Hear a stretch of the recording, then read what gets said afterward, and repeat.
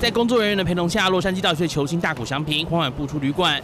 只不过从抵达首尔后，就如影随形的翻译水原一平，已经因为涉嫌迁赌惨遭开除。Uh, Dave, can can you tell us what Ipe told the team in the clubhouse last night?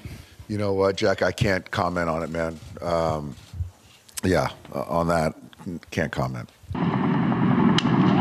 水原一平被突然解雇，引发轩然大波，更抢走大谷前晚超出两支安打，帮助球队赢得比赛的焦点。道奇从大谷到总教练对这件事则是三缄其口，只确定大谷还说代表道奇队在首尔高驰巨蛋和圣地亚哥教师队进行大联盟首尔海外站的第二战。No, no. Um, I, I think that uh, he's ready to play, and that that was not uh, considered.